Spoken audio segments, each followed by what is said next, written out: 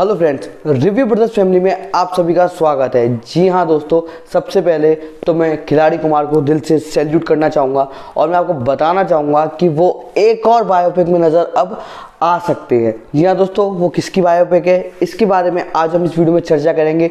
तो मेरी प्लीज़ इस एक्साइटिंग वीडियो को आप एंड तक देखना। तो अपनी वीडियो स्टार्ट करें। लेट्स स्टार्ट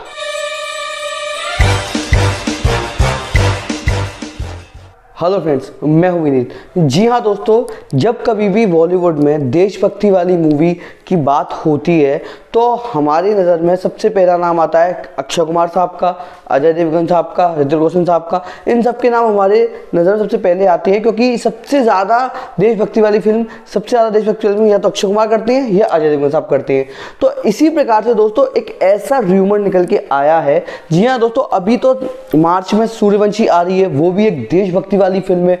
उसके बाद पृथ्वीराज चौहान भी आ रही है, वो भी एक देशभक्ति वाली फ़िल्म है। जी हाँ दोस्तों कि इसी साल उनकी दो ऐसी बड़ी मूवी आ रही है जिसमें वो देशभक्ति वाली फ़िल्म कर रहे हैं। इसी के साथ एक बहुत तगड़ा र्यूमर निकल के सामने आ रहा है कि उन्होंने एक देशभक्ति वाला प्रोजेक्ट भी साइन कर लिया है। जी हाँ दोस्तों एम एस बिट्टा साहब, जो कि एटीएफ के चेयरमैन थे उन्हों उनके ऊपर बायोपिक बनाई जा रही है, जिसमें अक्षय कुमार साहब, हो सकते हो जो काफ़ी तगड़ा ह्यूमर है और काफ़ी ज़्यादा लोग इसको सपोर्ट कर रहे हैं। जी हाँ दोस्तों, क्योंकि सबसे बड़ी बात क्या है कि मनिंदर बिट्टा साहब बहुत एक जो एंटी टेररिस्ट फ्रंट के चेयरमैन थे, उनके ऊपर ये मूवी बनाई जा रही है, जिसको रिलायंस ने, जिसने, जिसको रिलायंस ने राइट्स खरीद लिए हैं। और जी हाँ दोस्तों, आपको याद होगा, आपको पता होगा कि सूर्यवंशी के भी राइट्स रिलायंस ने रिलायंस डिस्ट्रीब्यूट करेगी। तो ऐसा बताया जा रहा है कि जो एटीएफ चेयरमैन के ऊपर बायो जो चेयरमैन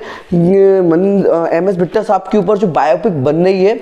उसमें अक्षय कुमार साहब हो सकते हैं। और जो काफ़ी बड़ी न्यूज़ है, अगर ऐसा होता है तो अक्षय कुमार फैंस के लिए और जो बॉलीवुड के लिए बहुत बड़ी बात होगी, क्योंकि हम सभी जानना चाहते हैं कि आखिर में मनिंदर मनिंदर सिंह बिट्टा साहब ने क्या किया था। और ऐसा बताया जाता है कि जो मनिंदर सिंह बिट्टा साहब हैं, वो आतंकवाद के खिलाफ उन्होंने काफ़ी ज़्यादा लड़ाई की है।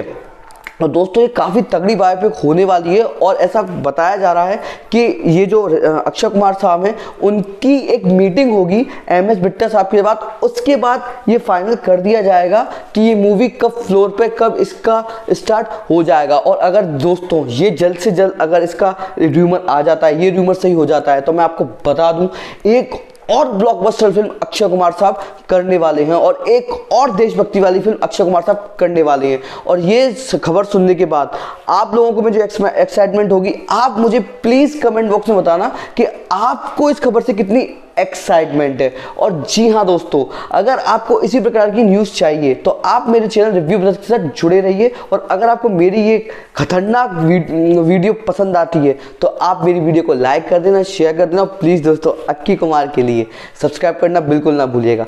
थैंक यू गाइस और जय हिंद दोस्तों।